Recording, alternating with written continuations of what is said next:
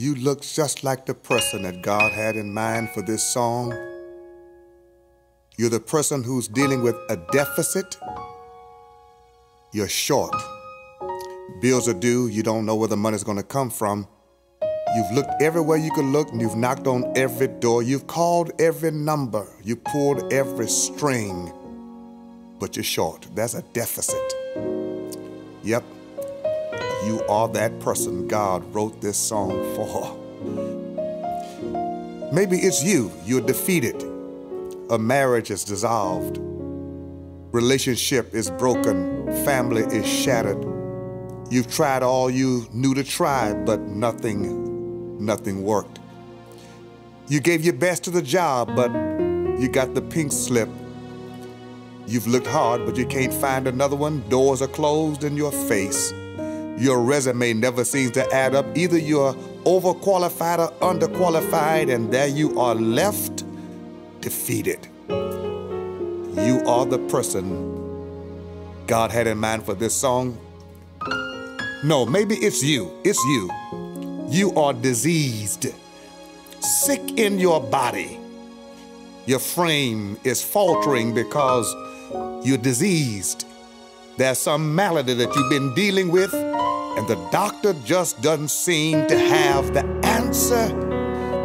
Maybe you're like that woman in Mark chapter 5. She's tried all the doctors and has spent all she had, and the stimulus package didn't work for you, or maybe even the new health care plan has not kicked in on your behalf, but there you are, diseased. It's you.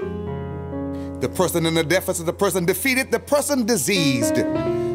I've come to tell you tonight by way of this song God has something in store with your name on it. It's called a miracle. You see, people of faith are able to use their faith to transform misery moments into miracle moments. I wish I had somebody here who could believe with me right now that your misery moment is a miracle moment in disguise. I dare you to turn it upside down, turn it over, and let God do what He does best. Give it to God. He's ready to turn your misery into a miracle.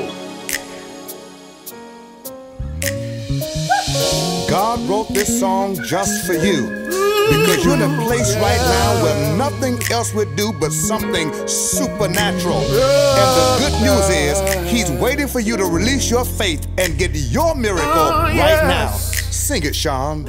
I believe that a miracle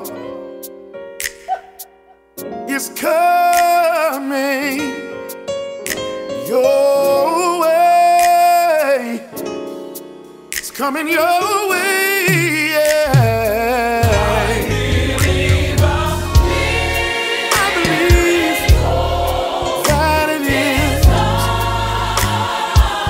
that it is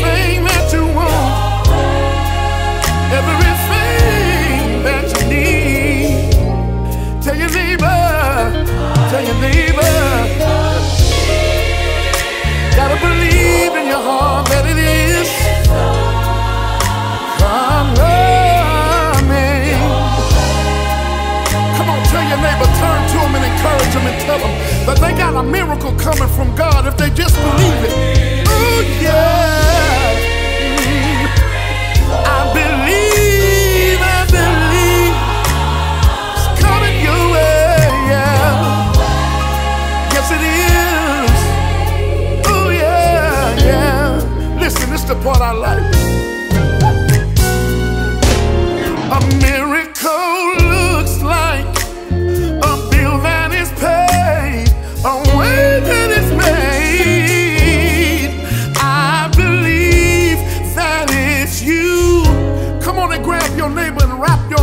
around them and tell them that the miracle looks like.